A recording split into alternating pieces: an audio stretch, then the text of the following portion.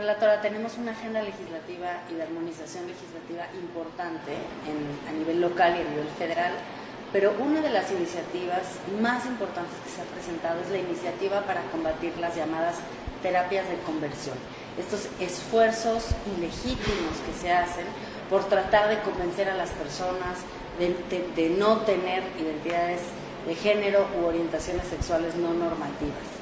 Eh, hemos visto en algunos casos situaciones que se pueden equiparar hasta tortura, como con APRED nos hemos expresado, las organizaciones de la sociedad civil han hecho un trabajo excelente y se ha presentado incluso una iniciativa de varios partidos políticos para combatirlas.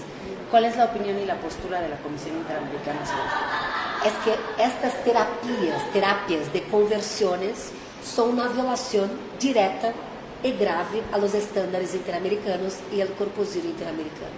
Por três argumentos, porque estão em choque, violam o direito de ser, o direito de desenvolver a personalidade humana de forma livre, autônoma e plena. Dois, violam, además, o dever do Estado de garantizar o direito à igualdade, é uma discriminação ofensiva e é uma violência ou seja, o dever do Estado de garantizar uma vida livre de violência.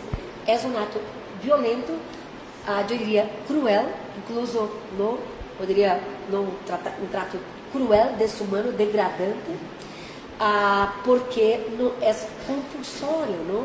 ou seja, o consentimento livre e, además, además de ser uma medida que ah, afronta esses três parâmetros, o direito al libre desarrollo de la personalidad, el derecho a la igualdad, el derecho a una vida libre de violencia.